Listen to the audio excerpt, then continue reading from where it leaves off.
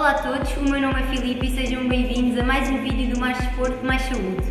Hoje trago-vos uma sugestão para realizarem em casa um jogo todos em família. Vai ter uma parte prática e uma parte também aqui de debate, expressão plástica, digamos assim. A ideia é que toda a gente participe, quer na confecção deste jogo, quer depois mesmo a jogar o mesmo. Então o que é que nós vamos precisar? Vamos precisar de seis círculos. Uh, eu utilizei folhas, até utilizei folhas já estavam escritas apenas de um lado para rentabilizar e, e vamos precisar de seis círculos de cada cor, ou seja, quatro cores. Eu utilizei roxo, azul, cor laranja e verde. Vocês aí em casa podem pintar da cor que quiserem ou então utilizar cartolinas, quem tiver e for mais fácil. Depois precisamos então de uma tesoura para fazer isto, fita cola, porque a ideia é então depois colarmos os nossos círculos ao chão para conseguirmos jogar e também uh, papeizinhos que vou colocar aqui no nosso saquinho em que vão dizer para nós colocarmos, vão ter indicações para colocar mão direita em cada uma das cores, mão esquerda a mesma coisa e o mesmo para os pés, certo? Então agora vamos preparar isto tudo, montar o jogo para nos divertirmos um bocadinho. Chamei aqui a minha companheira de jogo para se divertir comigo uh, nesta atividade e então tenho aqui já o meu saquinho e para, para facilitar aqui um bocadinho o processo vou pedir a alguém da produção que venha aqui juntar-se a nós para nos tirar então os papelinhos. Produção, aqui está. Estás pronta? Sim. Pronta?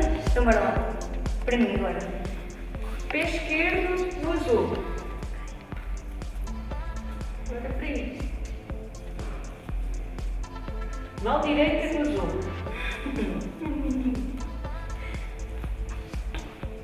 Pé direito no laranja.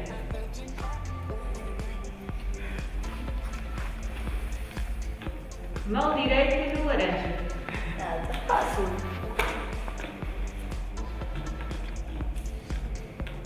Mão esquerda no roxo. Ui. Para a Joana, pé esquerdo no laranja.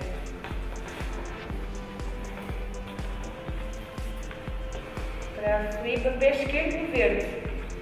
Ai, isto é direito. Para a Joana, pé direito no verde.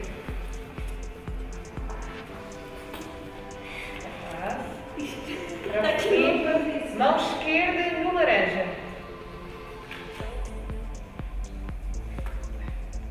Para a Joana, mão direita no roxo.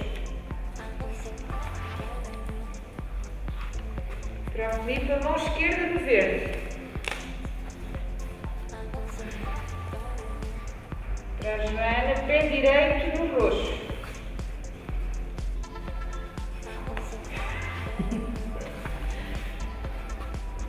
Filipa, pé esquerdo no roxo.